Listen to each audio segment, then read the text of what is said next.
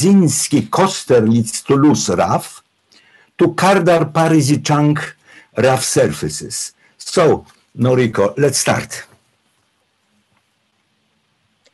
Uh, thank, thank you, Chairperson. I'll share my uh, wish and uh,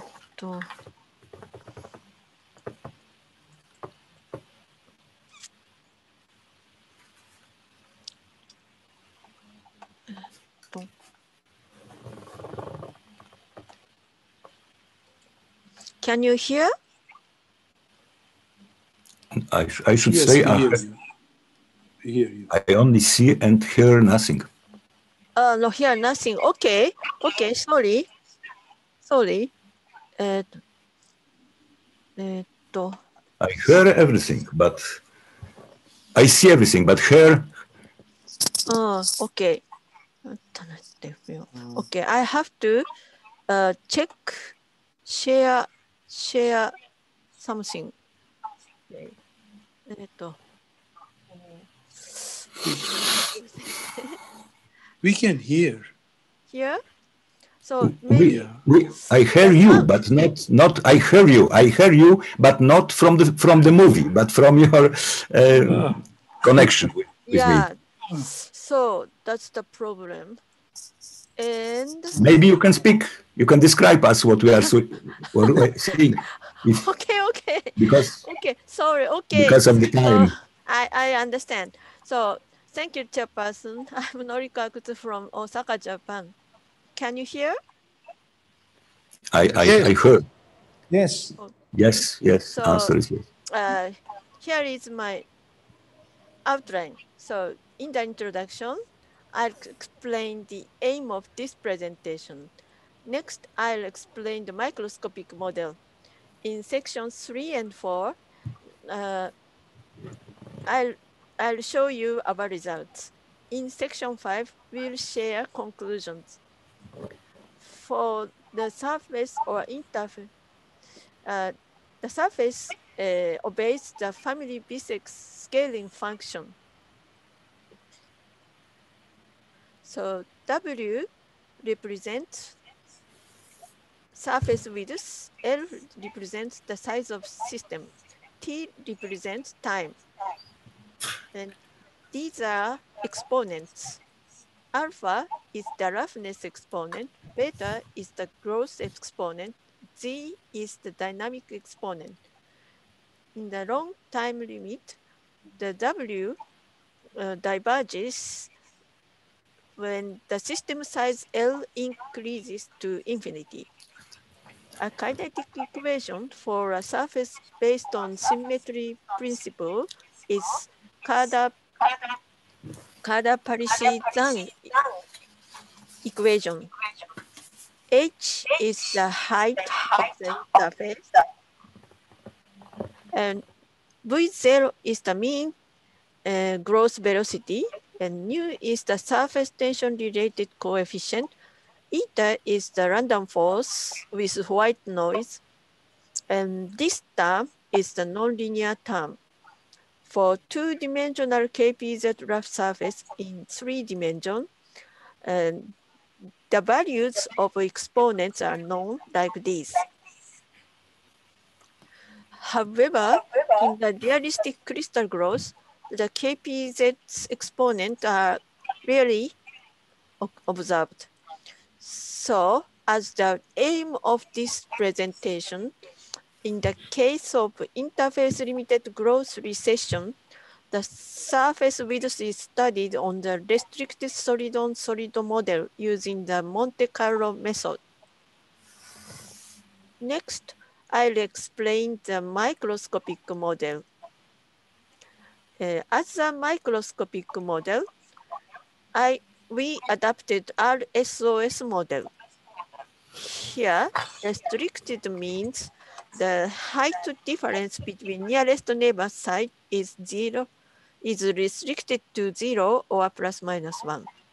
Here is the energy Hamiltonian. The epsilon is microscopic ledge energy. Delta mu is the driving force for crystal growth. Uh, delta mu is, is also expressed by the difference between the bulk chemical potentials of ambient phase and crystal. This is the top-down view of the vicinal surface. The pink lines show surface depth. The surface is slightly tilted in the direction of 001 at 110. The square of surface width is calculated by the variance of mean surface height. This is the geometrical factor defined by the equation. Px and Py is are the xy component of the surface gradient. The average is taken over using the Monte Carlo method. Now we explain our result. The horizontal axis of these figures are absolute value of delta mu driving force. The, the vertical axis of upper figures shows squared width over log L. The vertical axis of lower figure shows squared, no, no, uh, width over L to the KPZ alpha. Marks represents the system size. These figures are different from temperatures. The right figure, the temperature is higher than the roughening transition temperature of the 001 surface. The roughening transition belongs, is known to belongs to the Berezinskii Kosterlitz Thouless Universality class. Comparing these figures, when absolute value of delta mu is small, the surface is BKT rough. Whereas when absolute value of delta mu is large, surface is algebraic rough. Uh, there is a crossover point delta mu CO.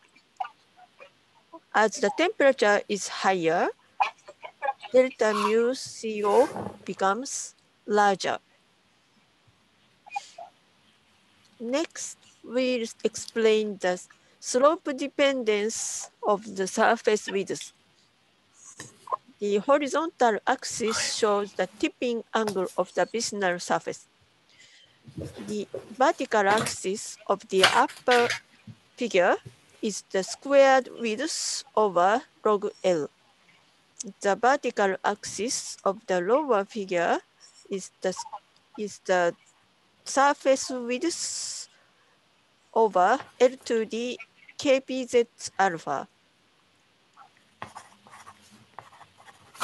The blue marks and light blue marks stand for temperature at 0.4. Black marks and pink marks stand for uh, temperature at uh, 1.7. The, comparing these figure, figures, the slope dependence of W is expressed by two lines. The solid lines is expressed by this equation. When the tipping angle decreases, the squared width converges to zero because the 001 surface is smooth. The broken line uh, is expressed by this equation. Um, when the tipping angle decreases, the squared width converges to a finite value because the 001 surface is rough. This, these are the figures for non-equilibrium steady state. As expected, the, the marks are more agreeable than lower figure. The broken lines expressed by the equations.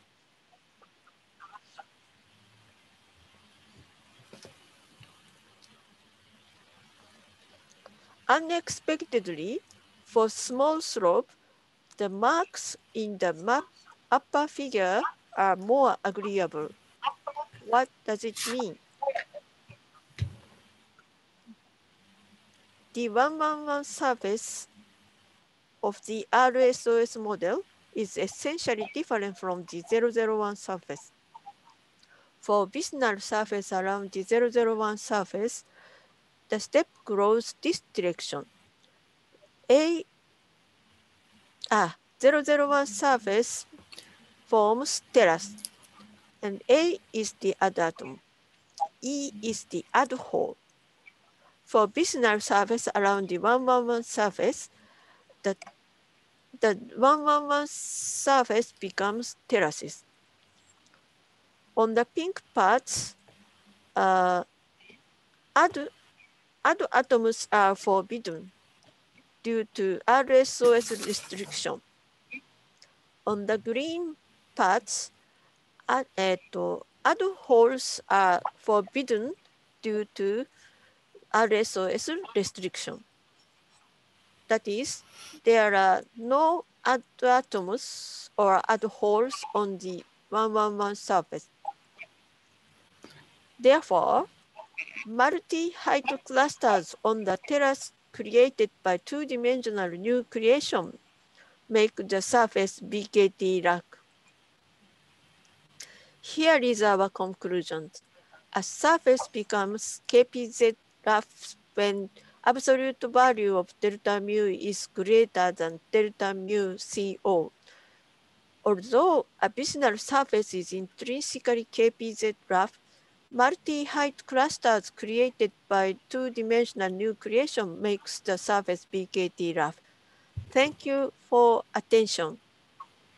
Thank you very much, and thank you that you fit perfectly at time. Two minutes, but two, two minutes, but it doesn't matter. So thank you very much. So now we have two minutes for questions.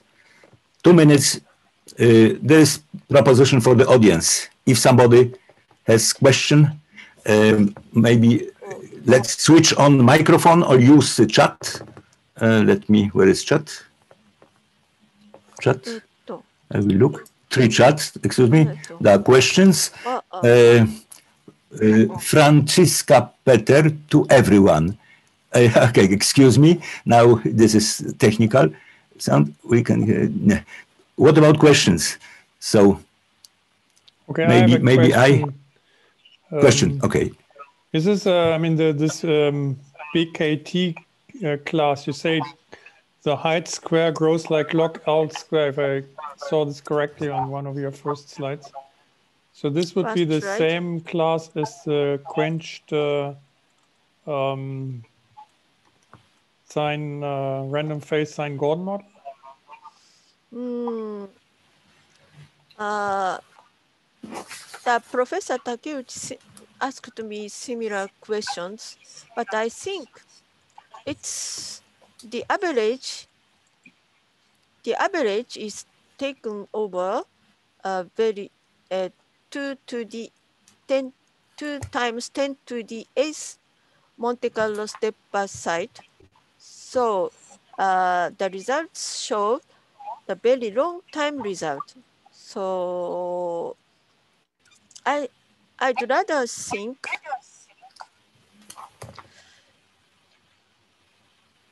not So so mm, so del, around the delta mu, the I think that it's BKT rough, not EW rough. But the So- universality class is very similar. sorry that I must interrupt you. At the moment, we have no time for more questions. no. Mm, So I invite you to personal discussions. So thank you again. Thank you very much. Once Thank you more. very Thank you much. very Thank you. Thank you, Noriko. Thank you. So the second, the second speaker, the second speaker is Professor Kay Wiese from from uh, phys- phys- theoretical physics laboratory Paris and the title and the title of his talk is loop erased random walks charge density waves, phi to power 4 theory, and the Ab- Abelian sand pile map. So let's start, Professor. Okay, well, put on the movie. Hopefully you hear me. Yeah. Thanks um, Okay. for this nice uh, invitation to give a talk at this interesting conference. Today, I would like to report on uh, joint work with uh, Andrei Fedorenko, Asaf Shapira, and Mikhail uh, Kompaniets on loop-erased random walks and their various uh, relations, especially to phi-4 theory.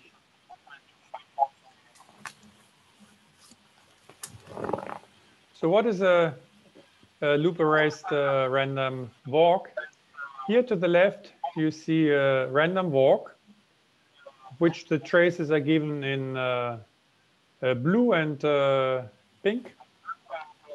And you see that uh, whenever the, the blue trace hits back onto itself, makes a loop, this loop is erased. What is uh, remaining is called a loop erased random walk.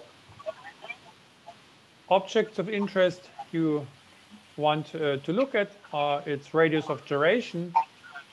By construction, since it's uh, constructed from a, a random walk, the end-to-end distance scales with the number of steps n, like n to the 1 over 2, 2 being the fractal dimension of a random walk. On the other hand, it scales like the uh, length of the loop erased random walk here in uh, blue to a different power 1 over z, and z is the fractal dimension of the loop erased uh, random walk, which is 5 over 4 in two dimensions and 1.62 in three dimensions. So how can we uh, construct a field theory uh, for this? And there are two steps in the construction. The first is a combinatorial assessment of uh, propagators on a of an, on an arbitrary graph. And uh, to to to get the idea of how this works, I uh, just show the simplest possible, or simplest graph on which I can explain the idea. So it's a graph which has three uh, uh, nodes, A, B, and C. And there. I have a problem are with my laptop. Probabilities uh, uh, involved to go between these uh, um, these nodes according uh, to the arrows. So I always start at A, go to B, and then to C. But in between, I can make loops at uh, D, and I can make an arbitrary number of loops. All of them after loop erasure will give the same loop erased random walk in blue. And the, the weight of the loop erased random walk, uh, gamma, so the blue curve here, is given by this formula. So this geometric sum here. Now, how can I sum such a geometric sum? Well, I have to multiply it with 1 minus the weight to make a loop, which is uh, uh, given uh, here. Now, what is this object uh, with which I multiplied? Was nothing but the fermion partition function on this graph. Fermion because there is this minus sign, and we know if you make a loop in fermions, you get this factor of, uh, of minus one. and what comes out when I do this multiplication, of course, all higher um, terms will cancel. And the only thing which remains is the first term, which you can also recognize as a fermionic object, namely the fermion propagator on the graph. Note the fermion propagator can never go twice through the same um, vertex because this would uh, imply that in the generating function I have a field, a fermionic field uh, twice, and the square of a fermionic, fermionic field always equals zero. Now, the theorem which I have just tried to motivate to you, and which actually can be proven, is that the product uh, written here, so P of gamma, so this line times a a partition function is in all cases a of gamma, given here its formal uh, definition. now we can check one more case. If I add to the graph some disconnected part, well, I will get a, a factor like this for this additional uh, part, and it will contribute both to Z as to the fermion um, propagator. So still this relation will be um, valid. There is a second element uh, to consider because I want to detect whether my um, my loop erased random walk goes through a given point, and I don't want to sum this over the loop erased random walk and all these uh, loops here. In order to achieve this, I need more fields. But the theory, I mean, the expectation values are already calculated for you, are not changed by adding uh, one boson and one fermion with the same um, action to uh, the uh, theory because every bosonic loop counts plus one and every fermionic loop counts with a factor of minus one. So they, the additional degrees of freedom will always cancel in the perturbation expansion. so what I should write down is um, e to the minus s as being the lattice action. Uh, and the lattice action I, I construct such that there's from each vertex x there is an outgoing um, line uh, with an amplitude beta x y. Now, of course, what I have to construct is the lattice action. So I take I have to take the log of this uh, line. And what I will get is a log of this expression. And as a standard in field theory, when the field phi, um, I should mention this is a 4 minus epsilon expansion. So the field phi is expected to have um, scaling dimension, uh, which makes such that higher powers in, in phi are less relevant. So I, I should uh, do a polynomial expansion and see what I get. So the leading order terms, which I have to keep all, are quadratic in, in the field. And they're given by this uh, formula here. The first one is a number, and it becomes a number if if I make uh, all this uh, translational variant. So it does not depend on uh, on x. and the second can be recognized as a lattice Laplacian. The subleading term, well, the leading subleading term is a quadratic term from this expansion, and it's a square of this object.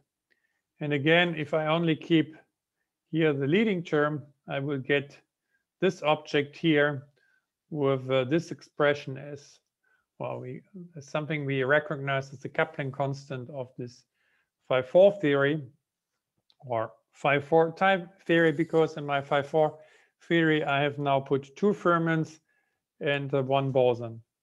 But again, the, the phi 4 interaction is uh, coupling only to, to the density.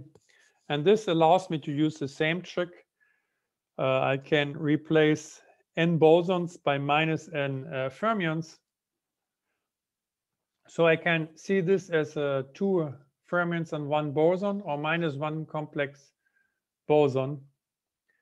Uh, now I have to, to do uh, analytic uh, continuation. So I have to calculate for an arbitrary number of bosons and then the end do the analytic uh, continuation to the to minus to minus one complex bosons. Or I can also use uh, minus two uh, real bosons. And this is a standard counting in phi 4 theory. So I got phi 4 theory with minus two for the number of components. So let's put this to a test and see what uh, I get. So the um, prediction for fractal dimensions in dimensions two and three uh, are given here. So these are six loop results obtained together with Mikhail Com uh, And you can compare this to numerical simulations uh, and it works even in two dimensions where the expansion parameter is large, but it works extraordinarily for the case where we have no analytic result in uh, namely uh, three dimensions. So this is a very nice equivalence, but actually there are more interesting equivalences here. So what I've shown you up to now is this, um, this corner here. Let's now focus on, on this corner here. So there are charge density waves, which I claim are also equivalent to the same theory of two fermions and one boson. so charge density waves are disordered systems. And disordered systems, here you see the Martin Siggia-Rose formulation. There will always appear the disorder correlator between these uh, two um, um, the, between these two uh, uh, fields now written at two different times. So it's a difference between these uh, two copies. Second information I have to put in is that the fixed point under RG is uh, uh, simply a parabola, a shifted parabola, which leads me to this interacting uh, term here. And you see the center of mass does not appear in the interaction. Now I can translate this to a supersymmetry uh, formulation where I will pick up two additional uh, fermions. But what I said before, that the center of mass does not intervene on the interacting part of the theory, uh, remains uh, true. So what I end up is uh, essentially the yellow um, terms here, and you recognize it's again a phi-4 theory with uh, one bosonic and two fermionic degrees of freedom. So it's the same theory I talked about before.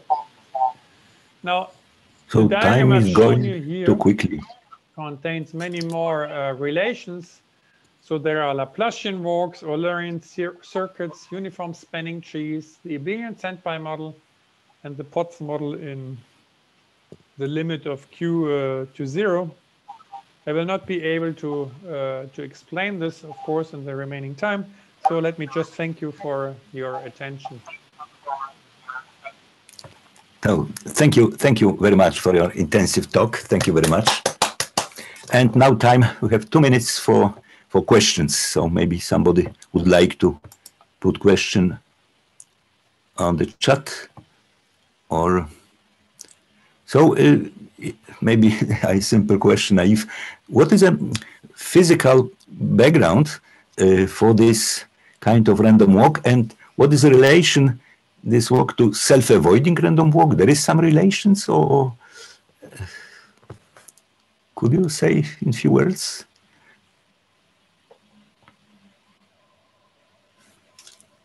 Okay. Miss professor Wiese oh i'm sorry I heard not, nothing. Yeah, what I think we lost him. We lost him. He's on mute. Now, no, I, I have my microphone is switched on. So no, you're okay. You're okay. Now you hear me? Yes, oh yes. yes. Now we hear you. Yeah. Okay, so loop-erased random walks and uh, uh, self-avoiding walks they um, sample the same uh, configurations, but the measure is different on both of them. So loop arrays and the measure is different, are, yeah. Are I mean are, are farther stretched out. So they are I mean they have and a what about dimension. I see. I see. I see. Path probability method is also somehow related to your. Mm, is possible to treat, uh, or, or is, is, this better is the diagrammatic uh, best is this diagrammatic method. Uh, okay we have no time to, to discussion but it's very uh, very interesting talk at least for me.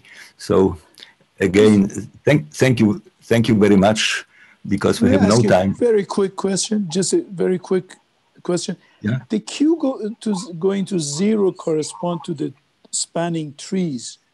So how is it related to the loopless random walk yeah, so the uniform spanning trees are sitting up here. So if you take a uniform spanning tree, and you take uh, two uh, points on this uniform spanning tree, okay. there's a, a, unique shortest uh, connection, and this unique shortest connection is a loop-erased random walk.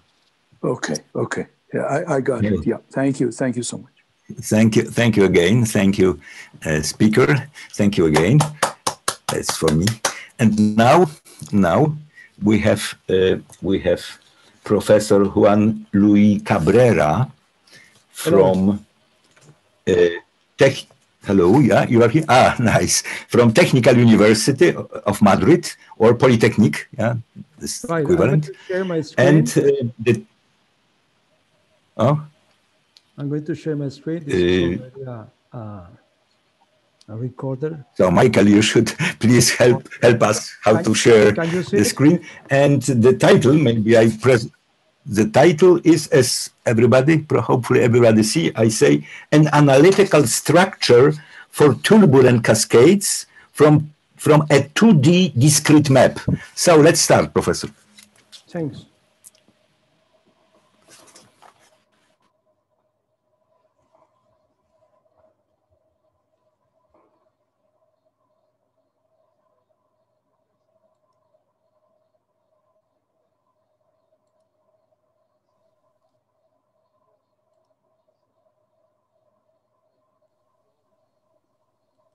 I think we can't hear him. You can't? When you share your screen, you should also share sound. There is a checkbox. Okay, thanks. Sorry, I forgot that. Just a second. What is it? Yes, that's the one. Okay, let me start by the beginning. Just a second.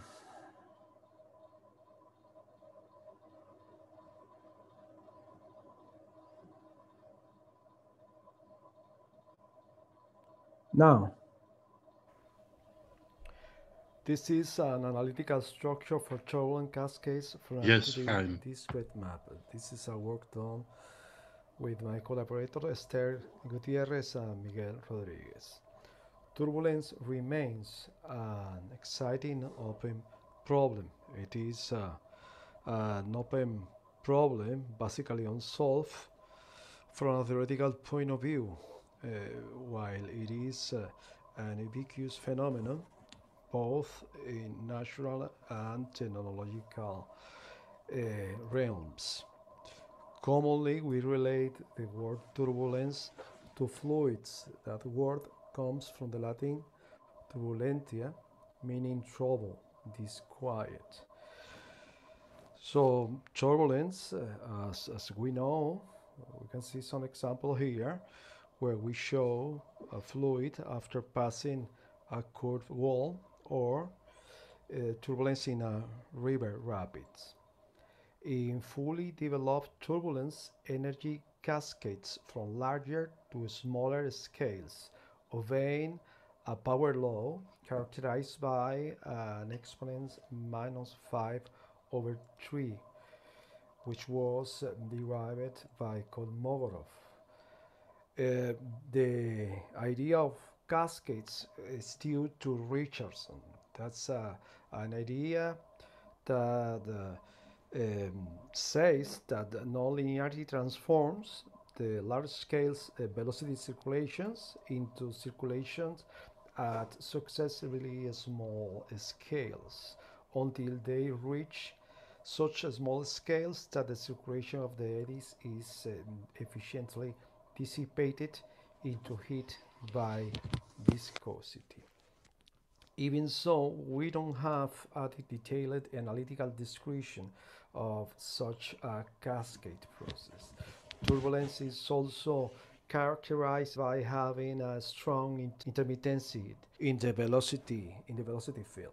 So as we show here for four different situations, experimental situations. But intermittency is not exclusive of turbulence. It can be found in very diverse situations as in human stick balancing or in econophysics in the standard Bohr index or in epileptic uh, uh, seizures or in a spin wave instability. So uh, question, the one we we ask ourselves is whether we can say something about cascades analyzing simple intermittent system. For that, we took the delayed regulation model, a random stochastic version of the delayed regulation model, where uh, we have a parameter r, which is uh, a fluctuating a random perturbation with an intensity A and a bias B. That system, the deterministic version of the system, has a, a bifurcation diagram as the one we show here with um, zero fixed point when the control parameter is between 0 and 1 and 1 minus 1 over r when the control parameter is between 1 and 2 and with a Hopf bifurcation in the value 2. Uh, when the, we are close to that Hopf bifurcation and the parameter fluctuates uh, stochastically, we have on-off intermittency. So we work with that system and we uh, wrote down that system in a, dimensional uh, uh, way, uh, showing the state space as a vector which propagates with the matrix A plus a certain bias when we linearize Uh, the system around the point 1 minus 1 over r, the mean value of r. We're going to call alpha that value and beta the mean value of r. So the system can be written down as following this equation and that equation can be expanded so it can be expressed as a function of the initial state plus some additional Bayesian term. This uh, expression can be compacted a bit after some careful manipulation and that uh, expression can be uh, compacted even more so we can ex express the state of the system as the a product uh, applied to the initial uh, state. Uh, details about this calculation can be found in a preprint already in, available in the arXiv. So we want to know how, how is the behavior of the norm of the, of the system states and that norm depends of the product of the, the, the product itself, which uh, has the information of the evolution matrices. So uh, solving that uh, product or, uh, is, is, is, not uh, uh, straightforward. So what we do is we analyze the behavior of each of the inner products. For example, we here have P1, the first inner product. This P1 has these eigenvalues, this structure for the eigenvalues, which is characterized by such a lambda, which is a, a quadratic uh, equation in the noise term. And we can see that the second inner product is also has eigenvalues with the same form where it, the value lambda is also a quadratic equation in, on, in the noise term, but uh, we can see that the coefficient of this equation are also quadratic equations in the, in the noise term. So that's going to be the rule for all the eigenvalues. And in particular, we can see that the mm, capital lambda behaves always as quadratic equation in the noise term where each of the coefficients are also quadratic equation in the noise term. That's true. We can say it for lambda 3, but big lambda 3, capital lambda 3, but also for capital lambda 4 and for capital lambda 5. So it is possible to generate a function to calculate a function that is able to generate all the, the big lambda. But first we have to recall that these capital lambdas are the leading term uh, uh, of the eigenvalues that determine the norm of the system states. Also, that these capital lambda are formed by order 2 polynomial whose coefficients are order 2 polynomials and so on. so in general, if we know the two initial the initial states lambda 1 and lambda 2 we can obtain any capital lambda g given that at the generation g minus 1 if we have a term in the in the noise term uh, uh, to the power of k. So in the next generation, it generates a, a new term uh, in the in the, in the same order of the noise with this uh, shape. So a way of seeing how this evolve is plotting uh, in a tree representation the coefficients. So you can see here the coefficient for the big capital lambda 1, here the coefficients for the capital lambda 2, and here the coefficient for the capital lambda 3. So uh, this process can be uh, taken further and being represented in this plane. So we take the initial the unit interval from 0 to 1 and divide the interval in three subinterval of the same length and on the, those subinterval place the value of the coefficients C2, C1 and Z0. So after one iteration each subinterval is divided itself uh, in, new three subintervals and we can place in these new subintervals the new coefficients and repeat the process through uh, ahead a number of iterations. Here you can see the results after 15 iterations, okay? And the result is, uh, is that successive, successive enlargement of the initial interval show statistical equivalent objects. So we obtain a fractal. We can see how's the fine structure of this fractal. This behavior can be seen in the intensities, in the magnitude of each of those points.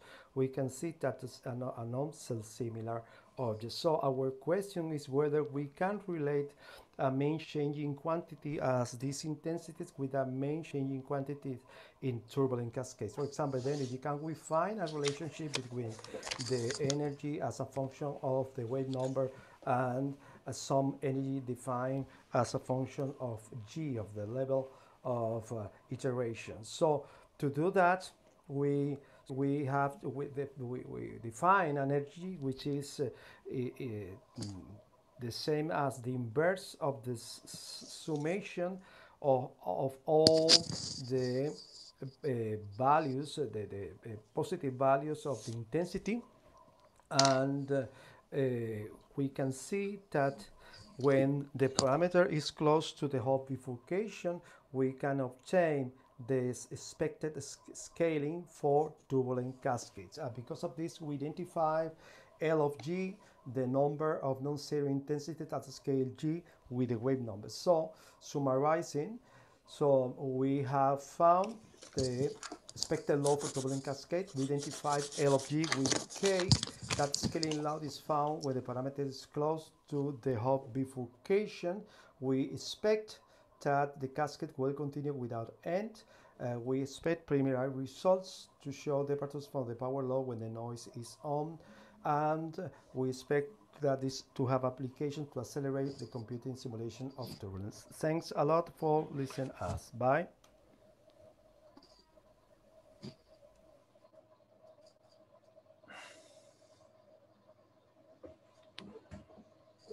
So question, please. Anyone?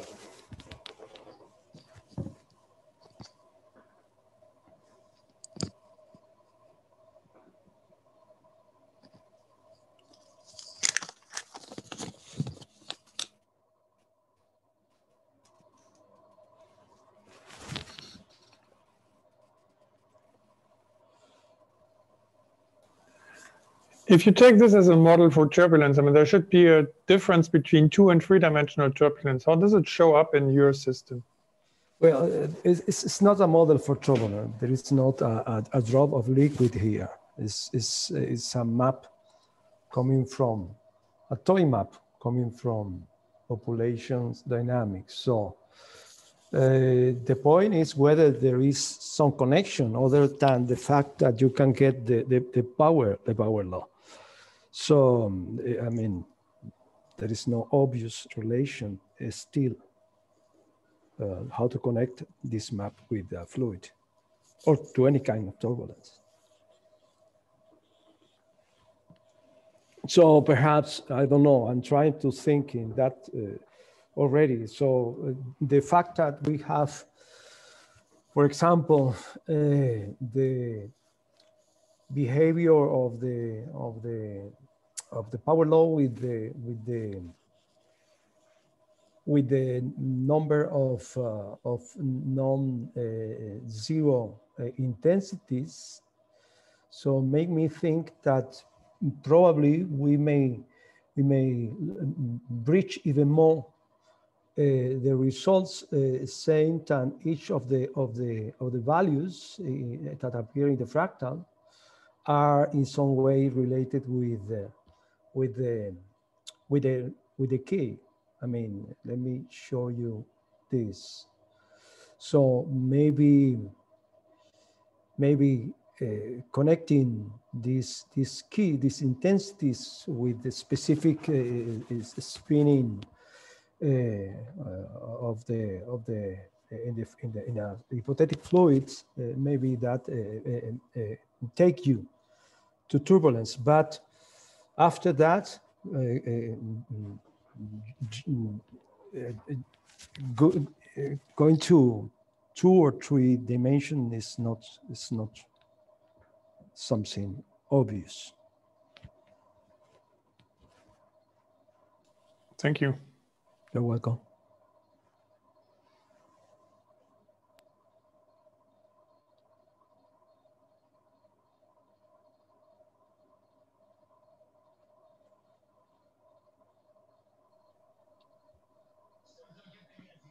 Dr. Kuttner, do you hear us? Hello?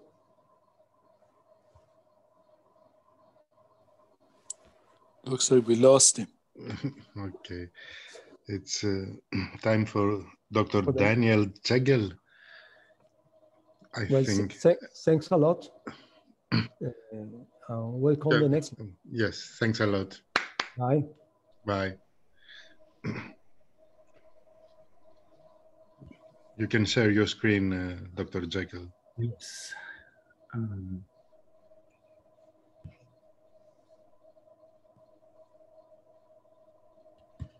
perfect. Right. So, um, hi everybody. Um, it's uh, 7:22 Arizona time here, and the sunrise is at 7:21. So it's a pleasure to give my first sunrise talk. Um, so I'm going to talk about non-extensivity. In particular, I'm going to focus on macroscopic quantities characterizing non-extensivity, and uh, we'll see how they relate to each other. So um, I will summarize two papers. Uh, these are the two papers um, here. Um, and I will focus on five concepts. One is generalized entropy, and the other is configuration space scaling. I will explain all these in detail. The third one is density of states. The fifth one is a, an exponent uh, characterizing non-extensivity through generalized entropies um, that was introduced by Hanel and Thurner. And the fifth one is uh, anomalous diffusion scaling, which is, which is a characteristic of uh, a diffusive process. So we will see how all these different macroscopic uh, concepts related to uh, non-extensivity and strong correlations relate to each other.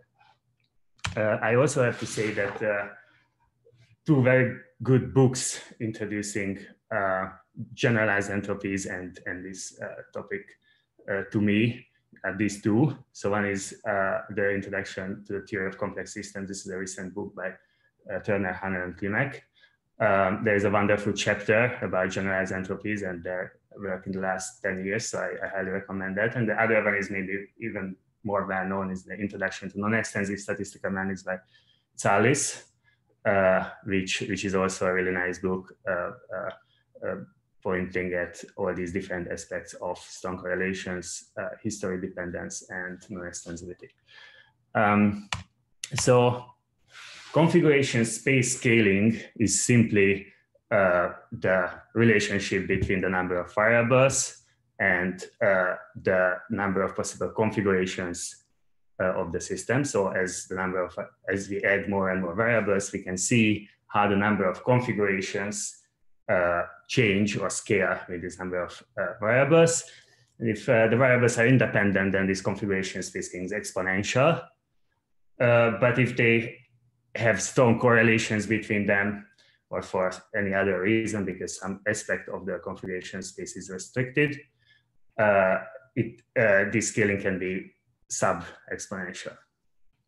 Um, now, another concept here is uh, generalized entropies.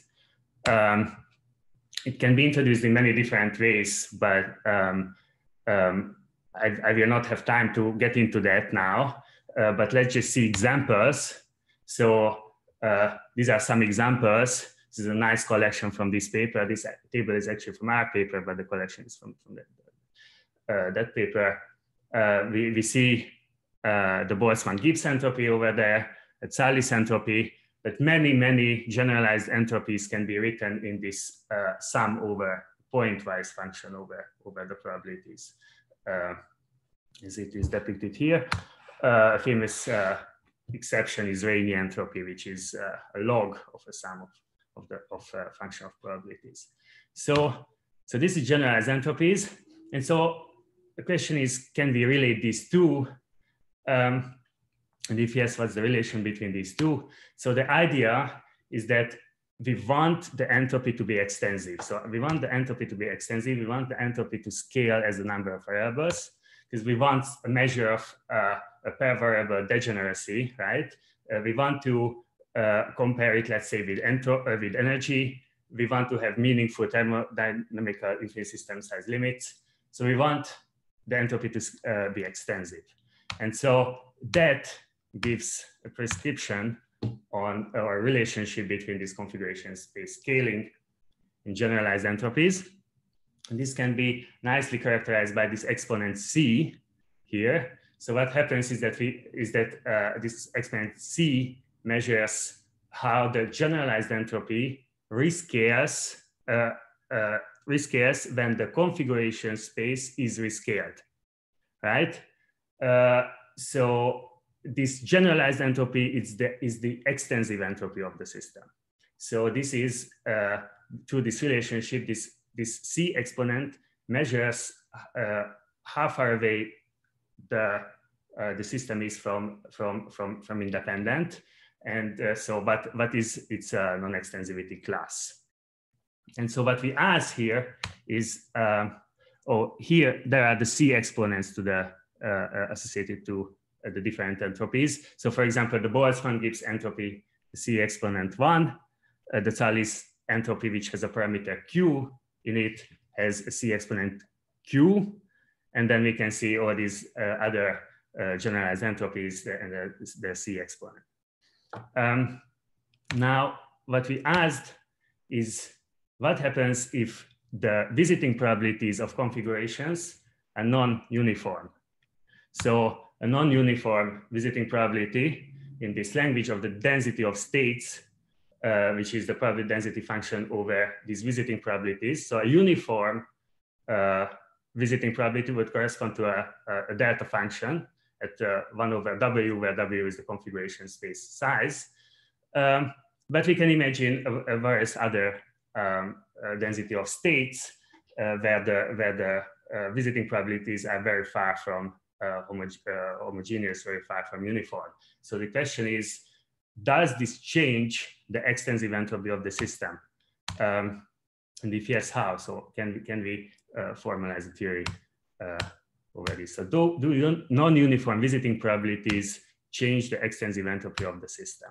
So this is the question. The answer is they do. So first of all, if we have a parallel density of states with an exponent that is just uh, uh, which is which is minus one plus epsilon, where epsilon as one over w. Uh, it turns out that there is no extensive entropy uh, that can be associated to to such a system. Not even the Boltzmann-Gibbs entropy is extensive, which we found really interesting because we might expect that the Boltzmann-Gibbs entropy at least is always extensive. Um, for a log normal density of states, uh, uh, we, we, find that, that a different Tsallis entropy is extensive than if the density of states would be uh, uniform, it would be this Dirac delta. Um, so here we, we depict that. And so what we can do is that uh, we can uh, look at the Boltzmann-Gibbs entropy, for example, and, uh, and see whether different density of states, uh, which is uh, the inhomogeneity of the visiting probabilities over configuration space, um, if the Boltzmann-Gibbs entropy be, will belong to a different non-extensivity class um, if we change uh, this, this density of states from the microcanonical, which is this Dirac delta, to something else, right? And so um, we can we can analytically calculate um, for all these many density, different density of states.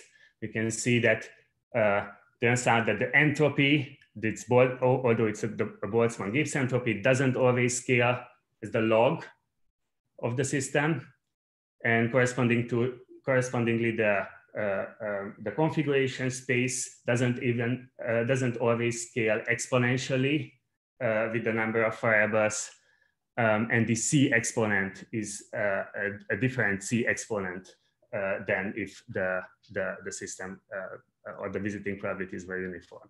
And so we can do this the same thing for Tsallis entropies um, and and and we see a whole a variety of different behaviors, which we found really interesting because we didn't really expect that uh, uh, uh all these density of states that are not extremely in, uh, uh, skewed can really alter the behavior, but they can. Um, so to sum up, the better picture is that generalized entropy is related to configuration space scaling, to extensivity, but uh, we really have to scale in the, uh, the density of states, the, the non uh, homogeneous visiting probabilities if we encounter with such a system. Um, so uh, the detailed calculations are all in this paper and uh, also uh, this roadmap of, of how to calculate the different quantities. Now, um, so this is non-extensivity, but non-extensivity is a consequence of strong dependence between elements. Now, another consequence of strong dependence between elements is, is, is uh, a collective stochastic dynamics uh, and how they differ from ordinary uh, diffusive processes. So we model this as a 1D nonlinear Fokker-Planck equation. So uh, in the diffusive term, instead of uh, having a simple uh, diffusing term, we introduce a nonlinear transformation, a simple nonlinear function of the density in the diffusive term. So this is the, the, the kind of the simplest way of modeling uh, interaction between particles in, in, in this macroscopic uh, uh, uh dynamical setting. And so, um, so the question is, if these two phenomena, non-extensivity and, and uh, collective stochastic dynamics are both the consequences of strong dependence between elements, is there any relation between them? And so we use the tool of generalized entropies to uh, connect these two. And we assume that the maximum entropy distribution is the stationary distribution of this Fokker-Planck equation. So this is the relationship. And so if one assumes that, um, if one assumes that, um, one can try to relate these two uh, qualitatively very different uh, uh, processes. And in particular, we measure the de deviation from ordinary diffusion to this anomalous diffusion scaling, which is simply uh, a measure of dispersion, right? So how, let's say, the standard deviation or any measure that is uh, that uh, as the unit of the same unit as, as space spreads over time. And so we try to relate this exponent c, which is characteristic to the non-extensivity class of the system, and this exponent gamma, which is this anomalous diffusion scaling. And so if we do that for the Boltzmann-Gibbs entropy, uh, we find this capital lambda here. It's the inverse of the maximum entropy distribution, right? So it's, it's, it's a log function. And so we can calculate the corresponding uh, non gen generally speaking, nonlinear Fokker-Planck equation. Uh, uh, here I only show the, the version without uh, external potential uh, for simplicity. And then one can calculate the, the exponent c and an exponent gamma. And as we already saw, the exponent c is one for the Boltzmann entropy. And as maybe as, as, as is well known, um, the exponent gamma uh, is, is one half for uh, uh, this the ordinary Fokker-Planck equation, linear Fokker-Planck equation. Now, what happens if we switch to Tsallis entropy? If we switch to Tsallis entropy, we see that uh, that the, the inverse of the maximum entropy distribution is a different uh, function. Uh, the, the, the Fokker-Planck equation associated to that becomes nonlinear and in particular has this form as it has been discussed many times in the literature. And so it has a, uh, an exponent gamma equals this uh, expression 1 over 1 plus q. Uh, so we asked if there is a general relation between c and gamma. And so what one can do is that one can uh, uh, evaluate the c and q for all these different entropies uh, to this inverse of the of the uh, maximum entropy distribution and then calculating the, this generalized Fokker-Planck equation. And so what turns out is that this relationship in C and gamma always holds. Um, and so um, we, we, we, found that really interesting. And so to sum up, uh, this is really, this is this C and gamma characterizes uh, the uh, the non-extensivity class of the system on the one hand, and the, uh, the, the uh, anomalous diffusion on the other hand. Both are the consequence of strong dependence between, between the variables. Um, and here the calculations, are, the detailed calculations are all in this paper. Um, and with that, I would like to thank the collaborators, especially uh, Shamu Balogh, who did many of the advanced uh, calculations, and uh, uh, also uh, the, the funding agencies. And with that, thank you very much for your attention. thank you. Thank you very much for this brilliant talk. So the, now time, I think one or two minutes for, for some questions or somebody. I have questions, but another maybe another person also. I have one question. question. Yeah, but uh, please louder. Oh, uh, can you hear me? Chairman? Uh, I hear you, yes. Oh, so I, have you some question? I, ha I have one question, yes. Uh, you study... Okay, okay, let's, let's put... Oh, thank you. Slowly uh, you put your question. Uh, nonlinear Fokker-Planck equations, right? So, uh, and well, you refer to them as stochastic dynamics. So for the, say for the linear one, I agree with that in the sense that there is a theorem that says that if you have an Ito stochastic differential equation, the probability distribution function of the uh, stochastic process that solves this SDE is described uh, with a Fokker-Planck equation, which is linear. In the case of the Boltzmann-Gibbs entropy, indeed, you have the linear process associated to this uh, Fokker-Planck equation. But I wonder in the nonlinear case, the, the question, uh, the situation becomes much tougher, and it's not clear to me in what sense these nonlinear Fokker-Planck equations uh, describe a stochastic process. This is my question. Yeah, so th this is this is a really good question. Um, um, the difference it introduces is that it um, it um, transforms the uh, density to to um, an effective density, uh, intuitively speaking, right? So if we have uh, this uh, uh, uh diffusive term, which is which is an f of p, an effective density that can model the in, the interaction between the particles in the same time and the same location, right? Um, and so um, I, I, believe that there is so much work to be done. And, I mean, there's a lot of wonderful work, but also it's so much work to be done uh, regarding connecting this macroscopic description, which is this Fokker and the mi possible microscopic uh, uh, rules that can lead to these nonlinear Fokker-Planck equations. And there are nice, really nice books uh, uh, uh about nonlinear Fokker-Planck equations and how they model different uh, uh, correlated systems. Um, but but it's a dif difficult question to relate these macroscopic aspects to the microscopic rules, stochastic rules governing the dynamics.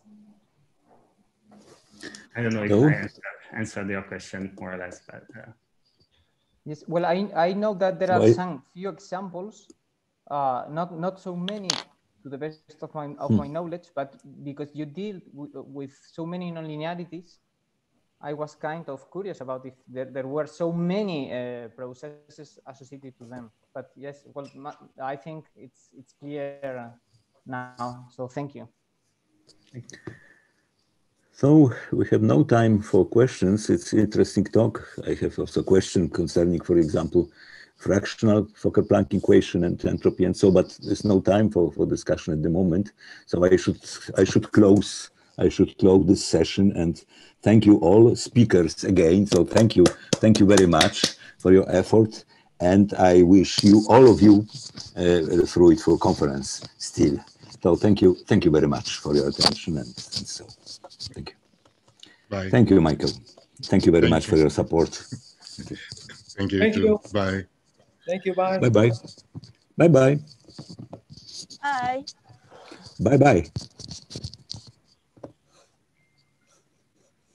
Thank you. So, uh, uh, excuse me, Michael, but yes. uh, I should, I should, um, the, my system, my, my, my laptop stopped, suddenly stopped my activity and I switch uh, on again.